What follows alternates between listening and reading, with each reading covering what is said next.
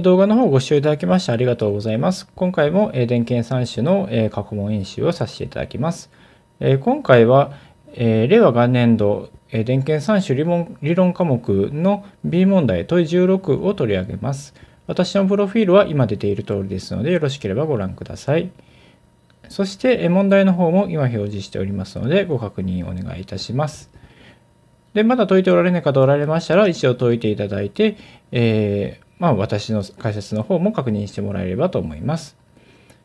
ちなみに今回の問題の正解は、括弧 A が3番で、括弧 B が4番になります。もし誤ってしまった方おられましたら、私の解説聞いていただいて、で必ず時間が経ってからあのこの動画の方を見直してください。えー、まあ、過去問演習する上では、間違った問題を再度、えー復習するというのが、えー一番重要になっていると思います。では早速問題の解説に、え回答の解説をさせていただきます。え今回は、えまあ、対象の酸素交流回路になってます。え電源と負荷があって、負荷は RLC の並列接続になっている形です。で、まず、括弧 A の方は、えー、電源電流 I を求めようということですので、で、この電源電流 I の、まあ、実行値としては、酸素ありますが、どの層も全て一緒でして、で、まあ、対象なので一緒なんですけれども、対象酸素回路なので一緒なんですけれども、なので、あの、1層分だけ抜き出して、で、計算を実施いたします。1層分だけ抜き出した回路図がこちらになります。ちょっと汚くなっているとこあって申し訳ないんですけれども、えまあ、電源があって、で、RLC の並列接続の負荷の分が書いてます。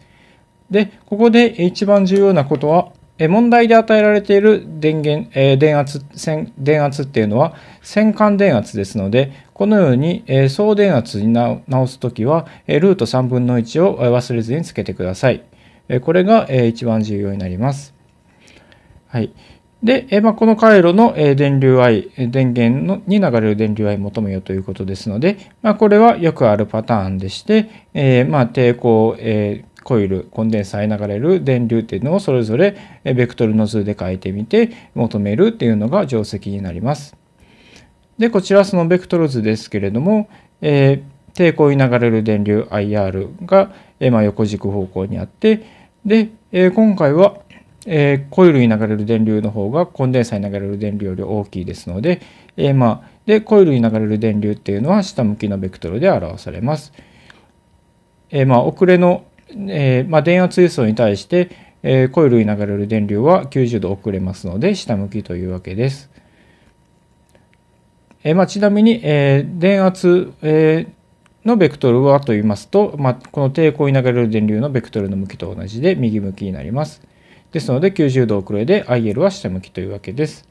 で、逆にコンデンサに流れる電流 IC は90度進み、電圧位相に対して90度進みますので上向きというわけです。はい。で、まあ、先ほど IC の方が今回は小さいと言ったんですが、それは、えーと、こちらのリアクタンスの、えー、まあ、代償関係によるものです。え、こういうコンデンサーのリアクタンスの方が大きいですので、で、同じ電圧がかかってますんで、コンデンサーに流れる電流 IC の方が IL に比べて小さいというわけです。まあ、というわけで、このようなベクトル図になりまして、で、IR、IL、IC、それぞれを合成した、え3つを合成した電流っていうのが、結局は電源を流れる電流 I になるので、こちらの赤字で書いているようなベクトルというわけになります。で、今回はこのベクトルの長さ、え大きさが知りたいんですけれども、えそれを求めていきましょう。でその時の電流 I の大きさっていうのはこのように、え、ま、こちら三角形直角三角形ありますので、え三平方の定理を普通に用いまして IR 事乗 IR 事乗と IL-IC ですねこの縦方向の成分の分の事乗を足してルートしたものです。で IR っていうのが大きさいくらかっていうと普通にオームの法則で I イコール R 分の V を用いまして、で、R っていうのは今回10オーム、V っていうのは今回ルート3分の200なので、え計算しますとルート3分の20となります。IL についても、まあ、オームの法則と一緒でして、で、えー、まあ、あの、R の部分が、えー、コイルのリアクタンス XL となります。まあ、問題文中にあるオメガ L の分ですけれども、それは10オームであると与えられているので、まあ、このように、求まります。最後の IC も同じく抵抗の方が XC になってます。で、このコンデンサーのリアクタンス XC っていうのは今回 20Ω であると与えられているので計算しますとこのように表されます。で、それを普通に代入していただくと、まあ、このように計算できまして、まあ、13であると求まります。ここのルート3分の5なんですけれども、まあ、今回はたまたまなんですが3分の5と言いますと、まあ、1.667といったような形だと思いますけれども3分の5が、まあ、1.67ぐらいなんですが、169って13の事情っていうのをご存知であれば、まあ、近いんで、まあ、1.3の事情は1.69になるということなんで、まあ、このルート3分の5っていうのは、まあ、大体1.3と一緒ということで、10×1.3 やと13ということ、えー、そういう求め方もできます。普通に電卓でしていただいても結構です。というわけで、括弧 A については、えー、括弧3が答えということです。え次に、括弧 B ですけれども、え今回は、え有効電力の値を求めようということです。えまあ、このように酸素負荷が RLC とあって有効電力を求めなさいっていう問題はよく出ましてでこれはあのパターンを覚えていただければと思うんですが、え今回あの有効電力ですので有効電力は抵抗のみで消費されるので、えですのでこの L と C っていうのは無視してもらって大丈夫です。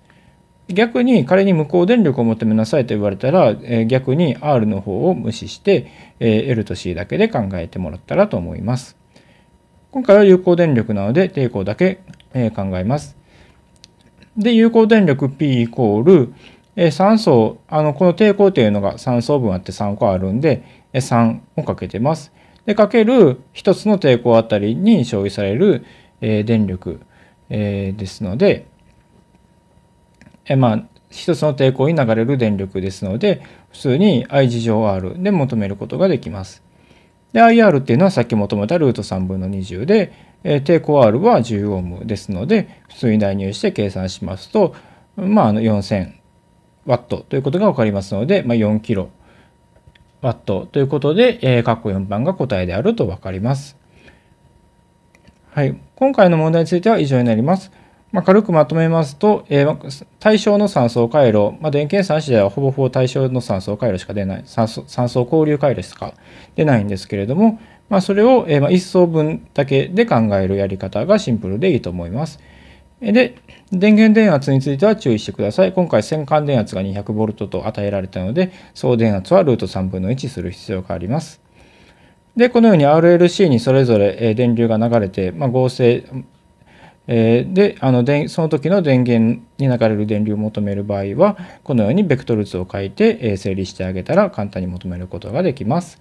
括弧 B の方の、えー、有効電力求める問題では、え、有効電力は抵抗でしか抵抗にしかあの流れないですので、えー、L と C を無視してもらってで普通に、えー、3層分の、え、合計の有効電力を計算していただければと思います。はい。今回は以上になります。よろしければチャンネル登録やいいねボタンしていただけると嬉しいです。ありがとうございました。